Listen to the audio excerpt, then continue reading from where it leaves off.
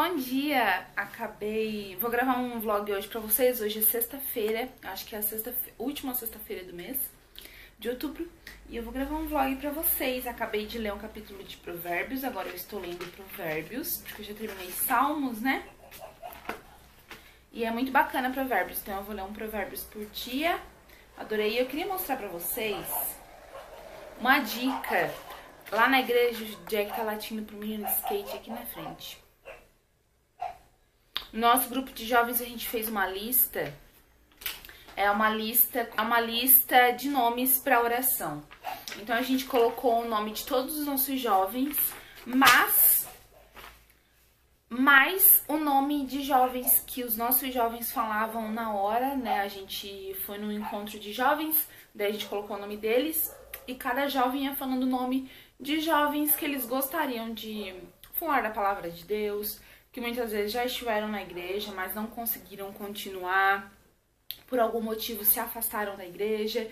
É, eles foram falando nomes e a gente foi colocando os nomes. Às vezes a gente lembra de mais alguém, coloca de lápis, né? E a gente deixa dentro da Bíblia para toda vez que a gente orar, a gente é, pegar a lista e orar por esses nomes. Então eu achei bacana essa ideia para indicar para vocês. Às vezes você tem um grupo de mulheres que você faz parte, um grupo de jovens, ou você quer fazer isso com os nomes da sua família. É... Escreva num papel, coloque na sua Bíblia e ore por eles, porque muitas vezes nas nossas, nas nossas orações a gente tá cansada, a gente não lembra o nome de todo mundo, ou muitas pessoas falam que não conseguem orar. É... E a oração tem segredo. Pega uma lista desse, vá orar nome por nome e quando você vê, você tá tipo duas horas orando e você nem percebe. E não existe nada mais gostoso do que orar por alguém. É, a gente muitas vezes tem que parar de pedir as coisas para Deus, porque Deus conhece o som do nosso coração e a gente tem que começar a interceder por outras pessoas, né? Isso é que é o verdadeiro amor. Então, eu queria dar essa dica para vocês da lista de oração. Faça isso, pegue um caderninho, anote o nome dos seus familiares, dos seus vizinhos, e vá orando por eles, que é muito gostoso. É isso. Então agora eu vou começar a organizar esse quarto, né? Porque a cama tá toda bagunçada, olha. E eu, gente, estou de moletom. Por quê? Tá um frio aqui em Santa Catarina, eu não sei o que aconteceu, mas tá um frio danado. E chegou um presente pro Alexandre, então eu tenho que empacotar antes dele chegar, porque eu quero entregar hoje. É um presente de Natal. Mas como nós já estamos em dia 1 de novembro, eu tô louca que ele use. Então eu quero, basicamente é 1 de novembro, né? Eu acho que é terça-feira, dia 1 Então eu quero que ele use, então eu vou dar presente de Natal adiantado. Gente, eu já organizei a casa toda, só falta eu passar aspirador. Vou passar aspirador porque tá com muito vento, tá frio, né? Falei pra vocês antes. Então, se eu passar a vassoura, vai pó por tudo quanto é lado, não adianta. Então, eu vou passar o aspirador na casa toda e hum, eu tenho que comprar desinfetante, que meu desinfetante acabou, então eu nem vou passar o sequito agora, qualquer coisa eu passo sequito amanhã de manhã, porque eu vou fazer o mercado hoje no final do dia, eu tenho que fazer a lista ainda. Tô amando esse hino, gente. O nome é Dependente, da dupla Canção e Louvor.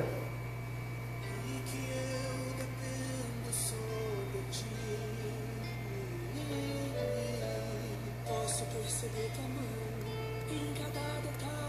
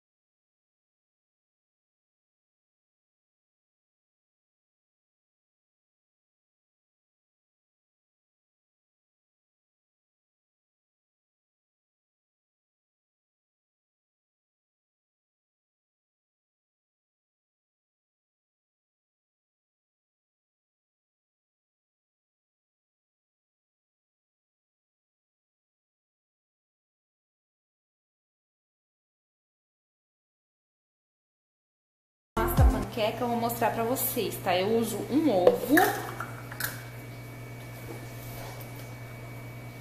Uso uma xícara de farinha de trigo. E uso uma xícara e meia de leite. Daí eu só coloco uma pitadinha de sal. E essa é a massinha.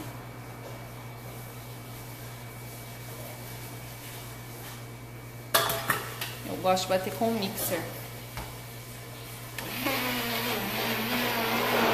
Pedi pro Xande gravar aí pra mim, porque a bateria da câmera acabou. Eu viro um pouquinho da massa aqui. Eu não vou fazer bem panqueca, panqueca. Eu vou fazer meio diferente hoje. Mas pelo que eu fiz as outras, deu certo. E essa medida que eu passei pra vocês dá 4, tá? Do tamanho dessa minha frigideira aqui, que é... É média, eu acho, essa frigideira, vida? Pequena. Pequena. Daí eu vou, ó, e a minha, essa frigideira é maravilhosa, gente. Ela não deixa grudar nada. Daí eu vou, deixo primeiro fritar bem de um lado, né? Fritar ou grelhar, né? Porque eu não coloco muito azeite, eu coloco bem pouquinho. Então, daí eu viro, eu desço de novo. E, e essa sujeirinha pretinha aqui, ó, é da hum, do frango. Eu vou mostrar pra vocês como que eu fiz, que daí soltou um pouquinho de molho, daí acontece essas coisas, né? Daí o que que geralmente a gente faria aqui? A gente tiraria essa massa e enrolaria, né? Mas eu não estou enrolando, eu tô fazendo assim. Um queijo, né? Vamos dividir, que não precisa botar um inteiro, né? Pra economizar. Daí, coloco metadezinha do queijo. O Xandia pediu um queijo inteiro, porque o Xandia ama queijo, mas eu não gosto tanto. Daí o frango que já tá aqui do meu ladozinho, eu vou colocar só na metade, né? Porque senão vai dar erro. As pessoas estão salivando aqui, as pessoas... Daí eu vou pegar aqui o outro cantinho, como se faz tapioca, sabe? E vou virar. Daí eu vou dar aquela amassadinha básica, daí sempre sai um pouquinho do frango, sabe? Daí eu deixo mais um pouquinho pro hum, queijo derreter bem. Amasso, amasso. Deixa eu pegar um prato.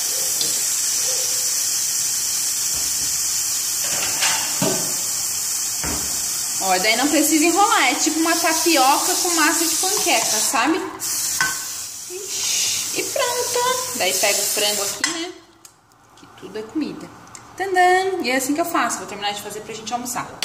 Gente, deixa eu só pegar meu celular aqui. Hoje a tarde foi bem produtiva. Olha, consegui fazer bastante coisa. Aqui são vários jogos americanos em dupla face. Olha a estampa disso, que coisa mais fofa. Eles já estão costurados, ó, do outro lado é de bolinha. Eles já estão costurados, né? Já, re- já desvirei. Só falta eu fechar. Quem quer o tutorial, né, o passo a passo do jogo americano, já tem no meu canal, é só você pesquisar. Lá eu tenho um kit completo de cozinha, completo não, né, as peças que ela me pediu de cozinha também já tá pronto, só falta eu pregar o lacinho, e o lacinho também já tá cortado, costurado, tudo prontinho, é só pregar. E aqui eu tenho vários guardanapos também já cortados, só falta eu passar a bainha e cortar. Agora eu vou limpar aqui o ateliê. E ontem eu não trabalhei aqui no ateliê, eu fiquei o dia inteiro fora ontem. Eu fui pra Blumenau comprar alguns tecidos com uma amiga minha e a gente ficou o dia inteiro fora. Aí eu já meti a mão aqui, já fiz várias coisas e amanhã eu quero terminar esses dois kits pra poder enviar segunda-feira. Eu não trabalho nunca sábado no ateliê, mas amanhã eu vou abrir uma exceção e vou trabalhar, já que ontem, na quinta, eu não trabalhei, né? Aquele ali é um kit da Cineide, que é aquele kit de utensílios, né? Que eu já mostrei várias vezes essa estampa pra vocês aqui. É maravilhosa essa estampa, é muito fofa. Dá uma cor na cozinha é incrível, né? Então é uma toalhinha de fogão dupla face, de um lado poá e do outro lado utensílios. Esse aqui é uma capinha pra galão, também de poá com utensílios. Esse aqui é uma capa para batedeira e esse aqui é uma capa para liquidificador. Então eu quero mandar um beijo enorme pra Cineide e pra filhinha dela, Rebeca. Então eu penso que é cinco e pouca e que eu posso tomar um banho pra ir no mercado rapidinho e eu vou ver, não, já é seis e pouca. E o, meu, o mercado aqui na minha cidade fecha às 7. Então, eu perdi o horário pra ir no mercado. Mas eu vou amanhã de manhã. Já fiz a minha lista, já fiz o meu cardápio, vou mostrar pra vocês. Olha, gente, aqui tá o meu cardápio. Aqui é segunda-feira, eu coloquei almôndegas, purê, arroz. Eu coloco os dois, não tem nada a ver os dois juntos, né? Mas o Xande come com purê e eu como com arroz. e legumes, eu vou ver o que, que tem no mercado. Brócoli, couve-flor, o que tiver. No, na terça eu vou cozinhar feijão, na segunda-feira à noite eu boto pra de molho, né, o feijão. Na segunda-feira eu faço, na terça eu faço feijão de manhã. Então a gente vai comer arroz, feijão, bife cebolado e salada. Na quarta, arroz, feijão, o bife empanado e salada. E na quinta, arroz, feijão, picadinho de carne com legumes e farofa. E na sexta eu não coloquei nada ainda porque vai depender aqui da semana, né? Eu não gosto de colocar ele completo porque às vezes sobra, às vezes falta. Se acabar o arroz e o feijão, na sexta eu faço outra coisa. Se ainda tiver o bife tal, eu faço alguma coisa com bife. Então eu anoto durante a semana. E geralmente eu compro uma carne só por semana. Então essa semana eu vou comprar carne de boi já em, cortado em bifes, né? Então é isso que eu vou fazer durante a semana. E eu tenho já carne moída para fazer as almôndegas. Então eu tenho um restinho de carne moída, eu vou usar na segunda-feira e o restante eu vou usar o bife. Então é assim que eu planejo o meu cardápio. E as as, as receitas que eu pego, né? Por exemplo, uma semana que eu não faço tanto arroz e feijão, as receitas geralmente eu pego nos vlogs que eu assisto. Quando eu tinha Instagram, que agora eu excluí, quando eu tinha Instagram, eu olhava muito Instagram de casa. Deixa eu ver se eu acho aqui na internet para poder mostrar para vocês. Eu tinha um Instagram que eu amava, que era Papo de Casa. Gente, ela tem umas receitas maravilhosas. É bem esse daqui. Eu amava essa daqui, essa menina linda aqui. Se você tem Instagram e você quiser dar uma olhadinha, ela tem tanto receitinhas quanto, ai, coisinhas fofas de casa, assim, que a gente ama, sabe? Então, ai, é muito legal. Tem umas receitas, ó, deliciosas, deliciosas, deliciosas de salada, de tudo. É maravilhoso. Mãe na Massa também tem umas receitas que eu amo, amo. Não é aquele ali o dela, não. Tem um blog Mãe na Massa aqui, eu não sei se é dela. É, bem dela mesmo. Deixa eu abrir aqui o Instagram dela. É isso aqui. Olha as receitas dela, gente. Vê se não dá vontade de fazer isso, ó. Arrozinho, feijão, saladinha. E aqui é bife cebolado, bem o que eu vou fazer na terça-feira. Ai, que delícia, meu Deus do céu. Tô querendo já, gente. Eu olho muita receita nos vlogs que eu assisto da G, por exemplo, que eu assisto durante a semana. E eu anoto tudo num caderno que eu tenho aqui. Tá até aqui na minha frente, deixa eu já mostrar ele pra vocês.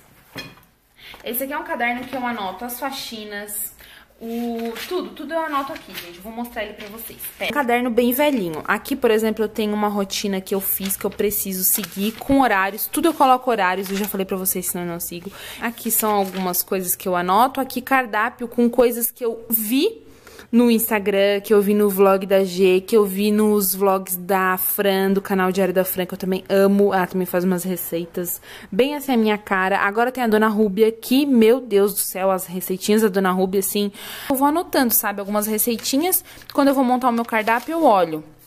Aqui também, ai, aqui tudo coisa que eu anoto. Aqui, ó, é o desentulho que eu tô fazendo, pra mim não esquecer de desentulhar nada. Eu vou finalizar esse vlog por aqui, já damos, já Dei banho no Jack também hoje à tarde. Eu não, né? O Xande. Damos banho no Jack hoje à tarde. Uh, então foi isso. Essa foi a tarde. O céu está lindo neste exato momento. Quer dizer, sempre é lindo, né? Mas sabe aquele céu laranja assim? Ai, tá lindo. Bom, então é isso, gente. Tava super frio hoje à tarde, agora já deu uma esquentada. Então é isso, tá bom? Um grande beijo, que Deus te abençoe. Tchau!